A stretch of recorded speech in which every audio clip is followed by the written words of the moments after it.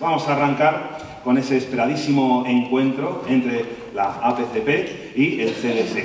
Ese debate en el que tanto unos como otros van a tener que defender o rebatir eh, verdades que se saquen de una urna. Así que vamos allá. Vamos a recibir ahora a Nico Cabuche, director ejecutivo y productor ejecutivo de Landia.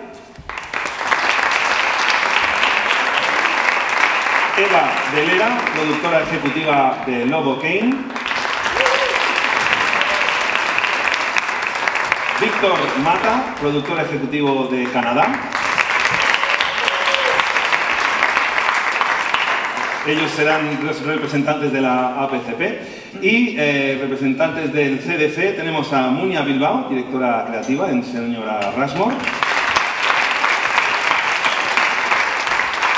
Eva Conesa, directora creativa ejecutiva y socia de Wealth. Y Raquel Martínez, fundadora y directora creativa de This is Libre. Para moderar este debate invitamos a la productora de Lee Films, Irma Borrell.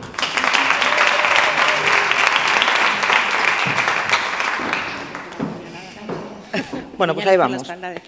¿Por qué si sois creativos se pide al realizador realizadora que tenga en su reel varias piezas casi idénticas a la idea que se pretende rodar? Bueno, ¿me estás mirando a mí? Eh, eh, bueno, yo, yo contesto, pero contesta si quieres, sí, sí. Pues yo qué sé, porque al final, bueno, uno pues efectivamente pide a los clientes ese, ese como ejercicio de imaginación y luego uno... Pues, no, pero al final, pues yo qué sé, pues tú ves los reels y dices, pues ¿quién puede hacer humor? Eh, no sé, ¿quién ha hecho esto antes? Y es una cosa que normalmente uno o dos pues dices, pues venga, me, me, acerco un poco a la idea que yo tengo, pues porque da seguridad, joder, porque a todos nos gusta la seguridad un poco, ¿no? Sabiendo que generalmente los directores pues pueden hacer casi todo en este país, porque son muy buenos, ¿no? Así es. Y tienen mucho, pero bueno, un poco, un poco por eso, ¿no? Y luego siempre una, una opción normalmente de seguridad, pues siempre vas más por el verso libre, ¿no? Y luego, pues a veces realmente las coges, o sea que... ¿Tenéis algo que comentar? No, me parece sincero. Pero es que de, de, o sea, también esperamos eh, creatividad del realizador, ¿no? Realizadora es muy aburrido si no, si no hay nada que mejore lo que has planteado, presentado, escrito. ¿no? Lo, Normalmente sí. las mejores piezas siempre son algo que no es exactamente Exacto. como tú habías pensado o como el equipo había pensado. Incluso, yo qué sé, igual juntos puedes convencer al cliente. O sea, qué aburrido es, ¿no? no Repetir, ¿no? Claro, qué aburrido es que sea exactamente como, como habíamos pensado desde la agencia. Mi hijo cuando tenía cinco años, esto es una anécdota divertida, me dijo, mamá, este trabajo que tienes tú, qué aburrido, ¿no? Todo el mundo dice la palabra referencias todo el rato. nadie, dice, nadie puede inventar nada. No, pero es verdad que las referencias también las utilizas para que te compren una idea, porque al final claro. es verdad, estamos pidiendo un ejercicio de imaginación. Cuando tú cuentas un guion, lo puedes contar fenomenal y tienes que llevar referencias. Entonces, incluso para ¿no? eh, tener un realizador que ponga ahí sobre la mesa ese tratamiento e incluso un anunciante pues pueda ver que es la mejor opción, pues sí que buscas algo parecido, pero muchas veces no lo hemos hecho así, o sea, no creo que sea la norma. No sé si esto os pasa. Yo creo que es la norma y hay pocas excepciones. Hay pocas excepciones, pero bueno, al final bueno, sí te puede marcar ¿no? más alguien que no tenga nada de Sí. dirección de actores, pues no vas a ir a ese Eso director. Si claro. es algo, o sea, sí que hay como unos básicos que lógicamente Sí, si buscas unos- que esa persona o esa- ese realizador sea experto en eso. No buscar que tenga tu pieza, porque entonces eres poco creativo si tiene tu pieza rodada. Pero suele pasar que, que muchas veces buscan la pieza en la bobina. Digo, mira, es que no. Y si no es que estaría repitiendo una cosa que ya se ha hecho. Pero Mm. bueno, pero es una tendencia yo creo que general y luego la excepcional es lo otro, es confiar en...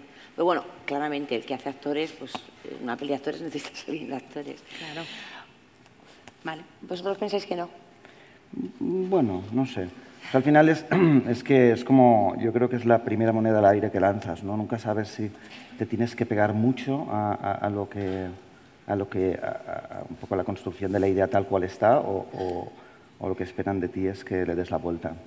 muchas veces pasa que te pegas mucho y le tienes que dar la vuelta y, o, le tienes, o, le, das la vuelta y en realidad te tenías que pegar a la referencia. Entonces, yo es la primera pregunta, pero no creo que sea una cosa solo de agencia, también a veces pasa con el cliente, ¿no? El cliente se engancha a una manera de verlo y, y luego no quiere ver más, ¿no? una interpretación nueva, ¿sabes? De, seguridad. La seguridad.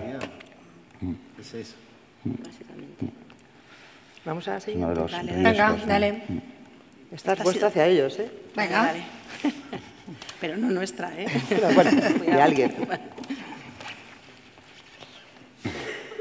A ver, esta es buena, ¿eh? A ver. ¿Sentís que muchas veces tenéis que pelotear a los creativos para finalmente llevaros la producción a casa? ¿Lo entendéis como parte de vuestro trabajo? ¿Qué es pelotear? Hacer la pelota. Hacer la pelota. Hacer la pelota. Hacer la pelota para llevarte el trabajo. O sea, eh, quemarle la cabeza para que tenga un proyecto. quemarle la bolsa. Y dice, sí, así funciona. ¿Hacer la pelota y quemar la cabeza es lo mismo? No es lo mismo. No, es lo mismo, ¿no? es lo mismo. Eh, pero tener contacto, tener relación con, con, las agencias significa tener relación también con los creativos. Y cuanto más relación tenés, más chance tenés de que te lleguen los proyectos. Es una realidad. Sí, pero en un proyecto concreto, hacerle la pelota es... Bueno, ya después depende un poco de, de cada uno. Yo no. Sí, yo creo que es más eh, acercar posiciones, ¿no? Sí, sí, y también un poco de... empatía. también, pero también tiene que ver un poco de lo que hablábamos antes, ¿no? De que también el director que le estás proponiendo sea el director que necesita para el proyecto. Por más que vos estés encima de alguna agencia, de un creativo, pidiéndole, dale, hagámosla, hagámosla, hagámosla, hagámosla, pero le presentás un director que no tiene nada que ver, bueno. Pero bueno, es parte, me parece, de, es que hacer la pelota así, dicho así, es un coñazo en realidad. O sea, hacer la pelota es que no te apetece, ¿no? O sea, es que no, en realidad no lo quieres hacer. O sea, si no, no haces la pelota, si no tienes una relación con los creativos o con la agencia que conectas, conectas y eso no es hacer la pelota. A mí me parece que no deberíamos hacer la pelota a, nadie. O sea, a mí no me gusta que me hagan la pelota. Tampoco me la hacen mucho, pero, pero si me la hicieran no me gustaría. Igual ha cambiado un poco esto ya, ¿no? Me parece a Yo creo que ha cambiado. Yo creo que cuando empezábamos era muy distinto. Incluso los perfiles, ¿no? De, pero, gente... sí, pero que, pero que te hagan la pelota, ¿no? Y, o sea, no te gusta. Ahora es más que si te llevas bien, pues te llevas bien. Pero es verdad que ahora yo, que sí que llevo ya un tiempecito, eh, he notado mucho cambio. Cuando yo era jovencita y empecé, yo creo que era todo como mucho más menos natural, ¿no? Mucho más forzado y mucho más Sí, con la relación entre agencias y productoras ahora es como mucho más sana. Yo creo, que ha cambiado. Ahora, ahora, va, de que al final... pero, pero ahora somos más colaboradores sí. y antes en la relación... ¿Pero a vosotros os gusta ganar la pelota? Yo creo que ahora, porque yo he vivido un poco como al principio más tal, pero creo que ahora... O sea, ¿qué es hacer la pelota? Es que claro, claro hay que definir qué es hacer la pelota. No, digo que... Oye, que vamos a comer un día, fantástico, pero al final es vernos y tener como... Al final este es un trabajo que pasamos muchas horas. juntos, son proyectos como muy intensos donde se pone mucho y al final eh, lo que tú buscas es gente con quien tengas confianza, ¿no? Es esa palabra claro, de pero eso no es hacer la pelota. confianza. Y eso se consigue pues, teniendo relación, es verdad, porque al final tú, ¿no? tú tienes un proyecto que te ha costado muchísimo sacar y que estás muy ilusionado y entonces eh, se lo das a alguien en el que confías. Y para mí ahí, en esa búsqueda de confianza, yo no lo siento como peloteo. Yo lo siento como que al final somos un equipo, las productoras y las agencias, y, ahí pues se hacen, no sé, ¿no? Se busca eso, no, yo no lo veo tanto pero Sí, esa complicidad al final, ¿no? Es más una relación cómplice, ya. y, me, da la sensación, sinceramente, que ha cambiado mucho el propio paradigma, ¿no? O sea, antes, yo cuando empecé me acuerdo que en los equipos creativos éramos muy pocas tías y en las productoras había muchas tías. Y, o sea, da igual, no entremos, pero era como... Eh, sí, había un una relación más de servicio, de, no sé, peloteo, no sé si es la palabra, ¿no? Ahora es un poco distinto, es más la complicidad y cuando algo sale bien ya te haces amigo para toda la vida. Cuando sale mal, pues probablemente igual no vuelvas a tener la oportunidad de coincidir, ¿no? Munia decía algo que te hemos interrumpido. No, no, que yo creo que ahora es una conexión mucho más sincera. O sea, que hay una parte del networking que es así. O sea, pero no, no, solo en la relación de productores con agencias. Y coincidimos otra vez en la confianza, y, ¿no? Y que luego que pues hemos rodado muchas veces juntos con unas productoras más que con otras y que hay mucha gente que está en las productoras que ha sido tus amigos en las agencias. O sea, que es una cosa que es así. Ya, Pero yo no siento que... Igual nos deberíais pelotear un poco. Hecho. es broma, es broma. Yo ya no soy de, esa, de esas generaciones. ¿Hacemos otra? Eh, venga, vamos para creativos, ¿no? Se te engancha ahí. Sí.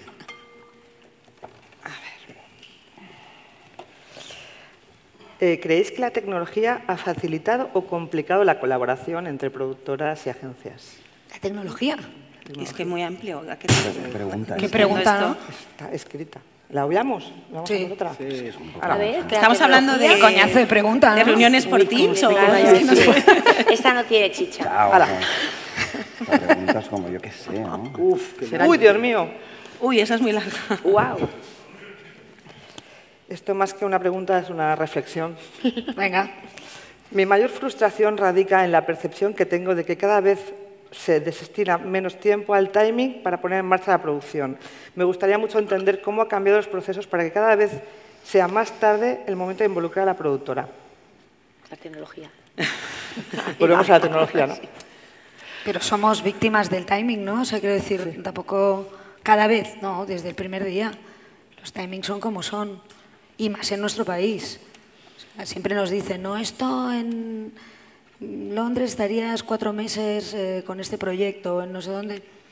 O sea, forma parte, ¿no? Y te das cuenta al final que es verdad que los timings locos no ayudan, pero los timings muy dilatados hacen que otras urgencias pasen por delante. O sea, tienes que estar ahí como arriba, arriba, arriba para, para meterlo todo, ¿no? Si la producción con mucha calma para mí es, es algo Sí. que no va. Yo creo que también proyectos largos tampoco interesan. Yo creo que esto No, a no, los nadie quiere, o sea, no, tú realmente un proyecto estar más de, de dos meses mm, No. no, no, Es un no dolor. interesa. O sea, no somos Cuando ci- no nos- estamos haciendo cine, no estamos haciendo un largo que se Sí, tiran. Ayer hablaban cuatro años haciendo. Yo digo, madre mía, yo me muero si tengo que estar cuatro años Sí, pero preparando sí una es- pero- producción. Pero, sí que es verdad que, que, mm, es una cosa que desde la productora sorprende. Claro, como, como vosotras tenéis más contacto con cliente y sabéis el porqué muchas veces, que nosotros no, nosotros nos enteramos luego, a veces sorprende que de repente te manden una cosa para el Black Friday una semana antes. Y dices, pero tú no sabías Ah, que. Black Friday... Ya. ¿no? La 21 de Hace un año que sabes que Black Friday es ese día, ¿sabes? No, o sea, y entonces también yo, a mí la sensación que tengo a veces es que pienso, están tirando la pasta. Eso es lo que pienso, de verdad. O sea, porque veo la idea que es, es muy interesante, pero es como caerse en la meta, ¿no? O sea, es como tienes una idea interesante, a lo mejor tienes pasta o no, normalmente no, pero tienes lo que sea, y, en- y, mm, pero no tienes tiempo a hacerla, ¿sabes qué dices, tío?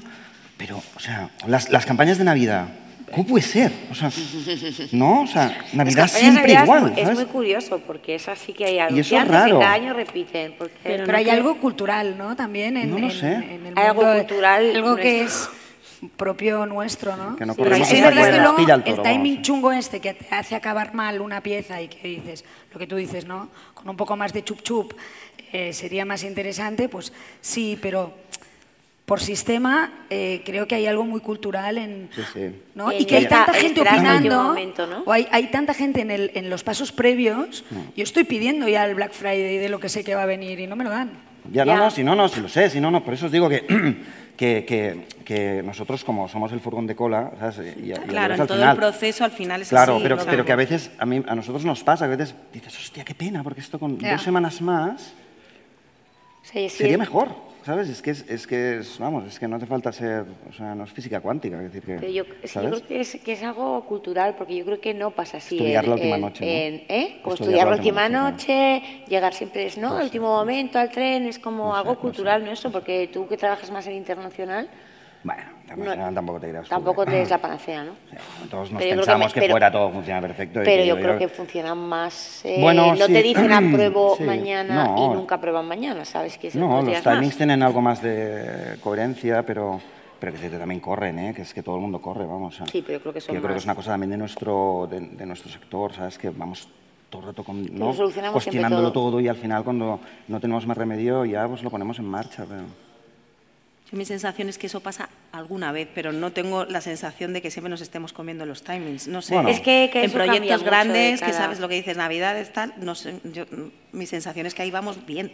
Otra cosa es que salga algo, pues yo que sé, una idea de repente de estas de ¿no? real time, que dices, oye, va, que hay que apretar. E esta mesa con, con clientes sería más, más dura, porque ellos sí que, sea, el tema del timing es, roza el maltrato con, con, la agencia. no, sí, estoy convencida de esto nosotros hacemos lo que podemos, ¿no? Al final es como a ti no te interesa que tú no tengas tiempo de hacerlo lo mejor posible, pero es que a veces es imposible arrancarlo antes. De hecho, el tiempo de creación, bueno, es espectacular. ¿no? O sea, bueno, ¿qué vamos a contar? y de hecho, a veces pasamos el, estamos deseando de pasar el brief a productoras cuanto antes y los creativos empujamos por, por intentar hablar con las productoras cuanto antes, porque sabemos que a veces es que piden o sea, es muy difícil llegar a... sí, pero hay que esperar a, que te lo esté aprobado por todo el mundo dentro de un anunciante, entonces tampoco puedes hacer nada. Entonces, en nuestro tejado, vamos, no está en ralentizar, desde luego, el hablar con... No, no, eso ya, eso vamos. A nosotros nos encanta hablar con productores. vale. ¿Abodeta?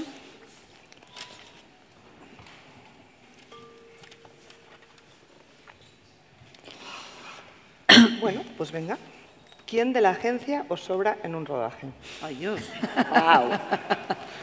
Venga, Nico. Es, es buena es como, Es buena, ¿eh? Está buena. Ahí, ahí está. Es que todos los que no estén metidos en el proceso creativo sobran de alguna manera. Bueno. O no. Hay, hay, veces que también los proyectos son muy políticos, entonces necesitas no un creativo, una persona de cuentas. Yo creo que lo, Hay proyectos que, a veces son muy, muy de producción y necesitas tener un productor. Bueno, no sé. Yo creo que sobra el doble, ¿no? De todo. O sea, tiene que haber un representante, un representante. No, no, digo varios creativos, porque siempre tiene que haber, pero te quiero decir, cuando ya viene.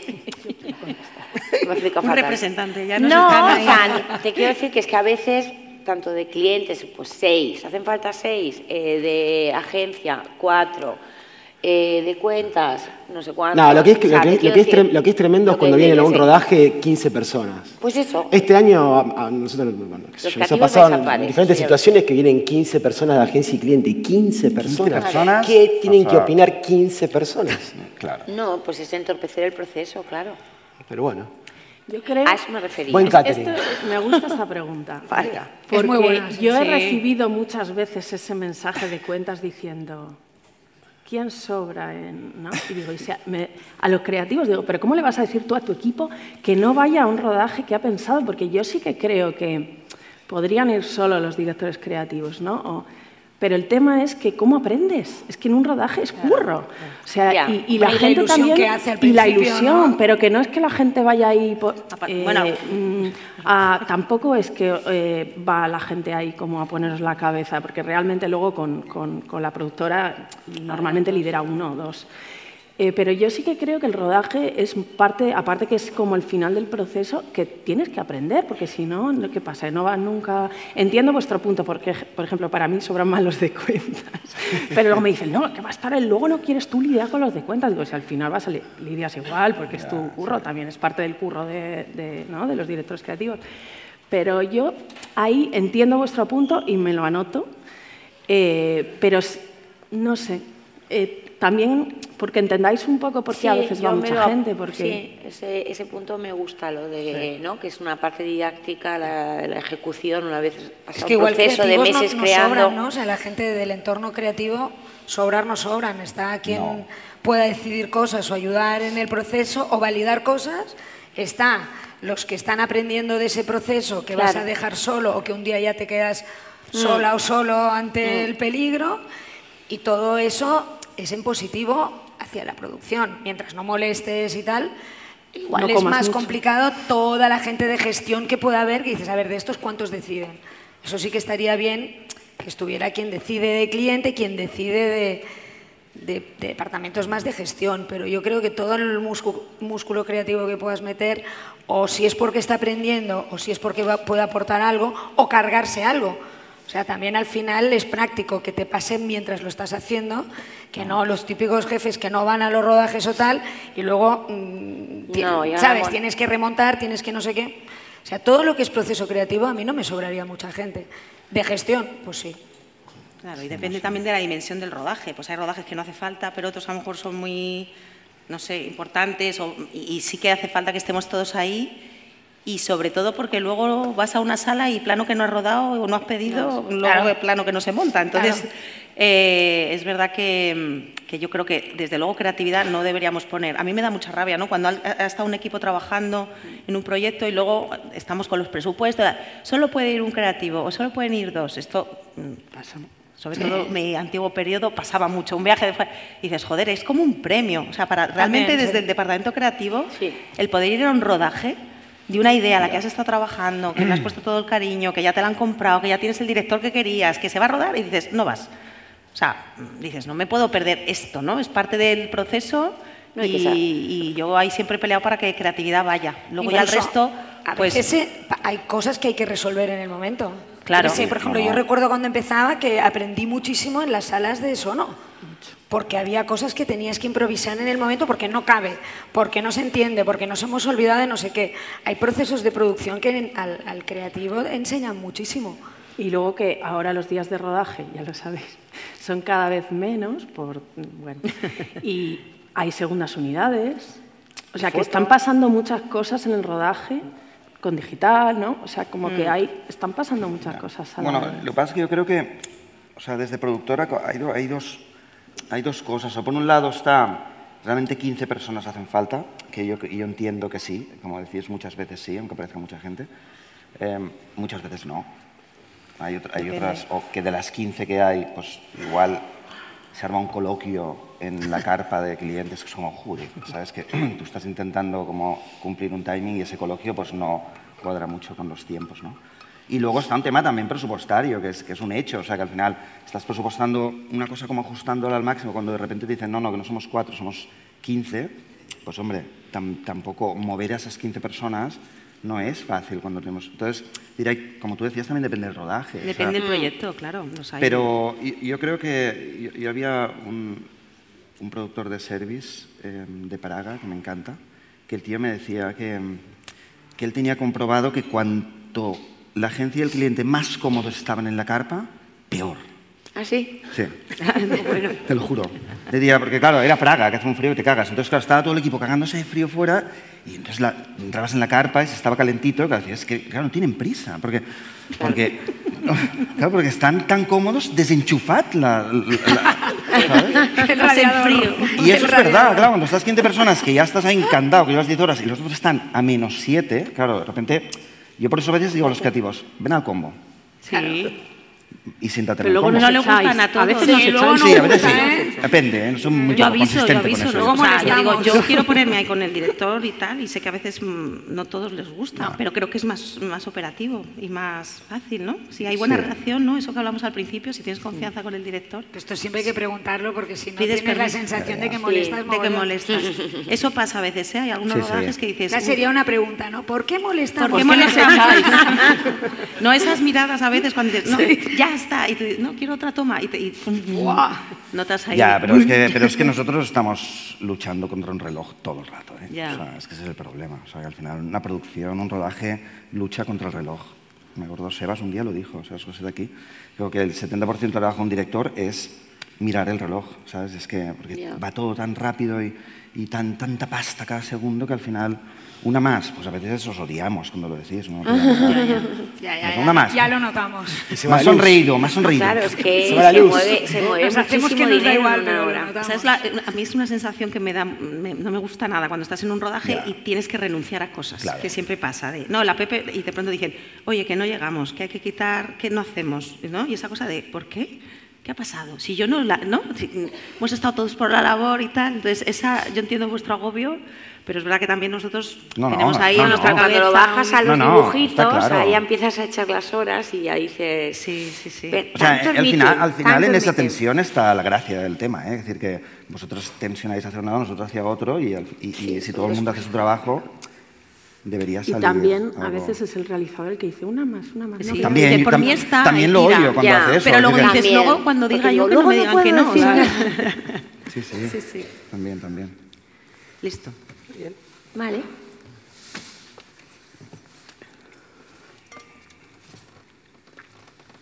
Uy. Uy.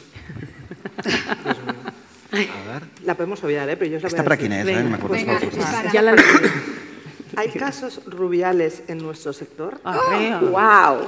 Pero esta es para No sé. ellos, ¿no? APCP para ellos, ¿no? Esta la contestáis vosotras. ¿La, la veamos? No, no, la veamos. No, no. que- A ver, hay lo- es- nuestro sector Mujeres. es, una- es lo mismo que la sociedad, pues lo mismo. O sea, es un reflejo. Hombre, yo creo que hace... Mira, el otro día estaba hablando con una producer y me dijo, cállate con esa que ya te conozco desde hace 30 años. Y pensé, ¿qué dice la tía esta? Y calculé y hacía 30 años. Bueno, pues hace 30 años... Sí. Sí. Había rubiales, sí. Sí. Y claramente, y si eras tía, o sea, lo, lo sentías, lo, lo luchabas o lo obviabas o lo convivías o X, pero sí. Sí, o sea, sí. yo creo que esto ha cambiado muchísimo. Pero sí, sí, Yo creo Pero- que micromachismos hemos sí.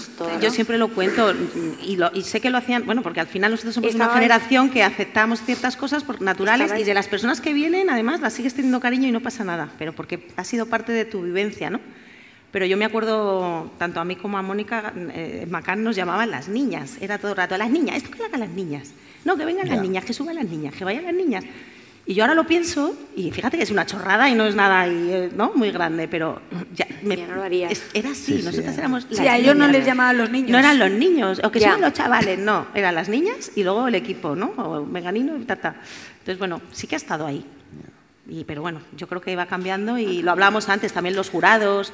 O sea, mm, muchos años tú ibas a un jurado de publicidad y el 90% del, del, del jurado eran, eran hombres. Y estabas tú allí un poco en soledad, haciéndote ahí la super Sí, tenías que, para... ¿no? Sí, tenías pero- como que, yo creo que durante muchos años, o ya te acostumbras, tenías que tomar la decisión de, de si te cansabas y hacías el esfuerzo por decir tu punto, por defender tu lo Mm. que tal, o esta la dejo pasar porque puto coñazo, porque cada vez son, son pequeñas luchas cada vez, ¿no? De, de- de- a veces de criterio, a veces de opinión, a veces de que tienes la sensación de que lo que has dicho, pues que no era broma, es que lo decía en serio y tal. y- Tienes pequeños recuerdos en la cabeza desde los primeros jurados que dices, bueno, voy a tener que, ¿sabes? Esta batalla la, no, la, decido eh, lucharla o no, ¿no? Ya. Y luego ya todo esto lo vas incorporando de una manera muy normal, pero lo único que pasa es que yo creo que te apetece que ahora no pase, ¿no? O sea, intentas hacer porque ahora no pase en la medida de tu pequeño ámbito, ¿no? Intentas eh, que no pase, pero sí, claro, rubiales, no sé. Pasando de, por supuesto, de dar ejemplos, pero sí. Por ejemplo, comentarios de la ropa que te has puesto, si un día, Bueno, sí. eh, yo qué sé, chorradas, ¿no? Del escote más para aquí, más para allá, y dices, hostia, en la vida se me ha ocurrido decirle a ningún tío que le salen los pelos o que, que en cambio, ¿sabes, no? Y sí, o sea, muchas cosas muy normales, pero que igual ahora, por ejemplo, las chicas y los chicos ahora no, no les parece nada natural, ¿no? Sí. Y en cambio nosotras lo normalizábamos porque era lo que había. Tal cual. Porque no sabíamos que estaba mal. ¿no? No sabíamos que no, estaba Claro. No, que eso es lo que es, es- es- Bueno, es que que son muchos años. Pero bueno, por ejemplo, fíjate, que no es un, no es un caso Rubiales, ¿eh? pero, pero cuando nosotros lo hacemos mucho en Canadá, que miramos los nominados y nominadas a, a los premios APCP, y el 90%, no, igual no el 90%, pero es que hay una cantidad de tíos que dices, a ver, ¿qué pasa? ¿Que no hay tías en la industria o qué? Y esta es la primera ponencia que hay más chicas que chicos aquí. Yo, de hecho, lo, lo- para, mí lo, para mí ellas son referentes, pero lo que me pareció, digo, anda, somos tres chicas, y me pareció extraño, que es una cosa ¿Ves? horrible. Es horrible porque anda que... no- bueno, hay menos, eh, porque ya se sabe que hay menos directoras creativas y tal, pero fue, fíjate, mi, mi propio, y yo soy más joven, pero bueno, que me lo he comido igual porque llevo trabajando casi 20 años, pero que al final dices, ostras, es que me, me ha llamado la atención esto, que me llamó para Ya. bien, obvio, pero Sí. pensé, anda, tres tías Sí, en la sí. parte de los creativos, tú fíjate. Y una moderadora. Y una productora. Una productora. ¿Y tú y yo? Sí. Estáis Sí, en sí. minoría hoy. ¿Avanzamos? Venga. Sí. Ahora toca CDC, ¿no? CDC.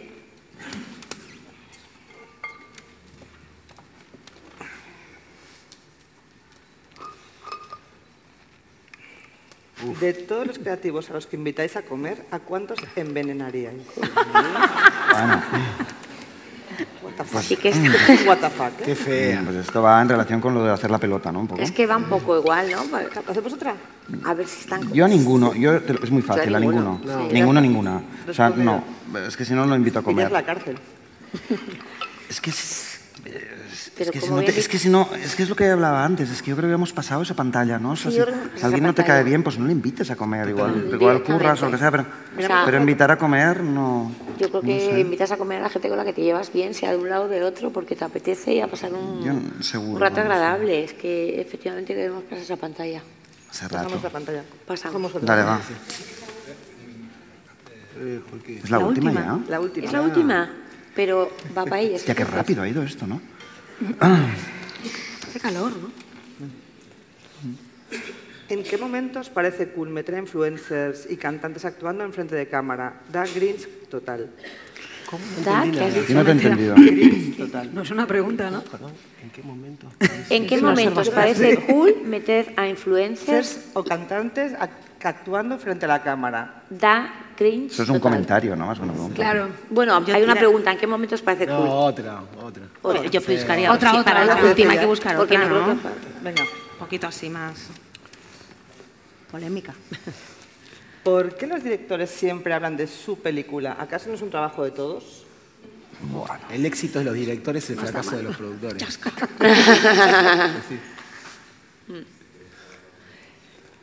¿Eso es para nosotros? Sí, sí, sí. preguntarle a un director, ¿no? Que, no sé. Eh, bueno, yo a veces también me oigo diciendo, personalizando en mí, en el proceso, y digo, no, nosotros. O sea, o sea, que yo creo que es algo natural, pero los directores lo hacen más, eso es cierto. Yo recuerdo una vez un director de cine que estábamos con un guion y, me, y la, no, la película, y él dijo, esto no es una película, Ah, esto es un anuncio. Claro. Y es que fue como anuncio. bajarte ahí a, ¿no? a la Sí. realidad. No, yo creo que si un director dice mi película está bien porque la, ha- la ha hecho suya La ha hecho y eso es bueno, a mí no Sí. me importa. No Al final sabemos que esto es trabajo en equipo y cuanto más gente piense que es suya, Claro. Mejor. Lo que sería guay es que lo dijera todo el mundo. todo el mundo. Sí, sí. Pero él que lo diga todas Sí. las veces que quiera, o ella. Sí, sí. Sí, pero yo creo que en el sentido que dices tú, también es un poco antiguo esto, ¿no? Yo no Quiero lo he decir escrito, ¿eh? que Yo creo que... No, que lo has dicho tú, lo has dicho tú. Pero que digo que eso ya, ¿no? Que sí, es como que esta cosa del director diciendo mi película como, como si fuera el centro del mundo, yo Sí, creo que eso tampoco... sí. Sí, eso ya Sí, yo creo que son, cambió mucho. es eso. antiguo, sí. que son cosas que van evolucionando para bien, ¿no? Sí, yo creo que sí. Si alguien no ha entendido que es un trabajo de equipo, está fatal, ¿no? O sea, o sea, ¿no? ¿Ya? Pues me parece que nos dicen que tenemos que Una, terminar. una más, la última, vamos, la última. Una más. ¿No? Última. ¿Te ha gustado? Va, la última. Venga, va. va. Ah, Nos las podemos llevar luego, ¿no? Digo para ver. Si Adriana dice que sí, eh, Adriana, ¿sí no la vemos, entonces nos lo preguntamos. Una más. Venga, una. ¿Para cuándo creatividades más inclusivas? Para allá, ¿no? Pues ya están, ¿no? Ese es el briefing ahora. Ah, sí. Sí, pero acaba, acaba, es como la Ya. intención, pero yo acabo de pasar Pero- por un pero proceso yo- y luego se va diluyendo, hay decisiones, a alguien le da miedo y al fi- al final acaba En verdad estaba. es como puños tres o cuatro del año que viene, cliente también, ¿no? Por favor, sí. Porque creo que hay que aquí, que aquí muchas Sí, veces, o sea, tenemos nuestras cositas, pero estamos también Sí. en sintonía ahí muchas veces y bueno, eh, uno quiere diversidad, inclusión y tal, y luego enseguida, ay, que no me representa, ¿no? O Sí. no representa a España. Me ¿no? acaba de pasar. Eh, que que lo- no es un comentario como despectivo ni mucho menos, Simplemente no lo pero ven. no, no. Mm. Es otra cosa más que no estamos acostumbrados y, encantaría, ¿no? y nadie se atreve como a romper moldes, ¿no? Total. Y seguimos como... Sí, sí. No, no. Es verdad. Pues ya estamos. Pues sí. Estamos, pues Vamos. gracias. Gracias. Bravo. Pues nada, ha sido como muy naif, ¿no?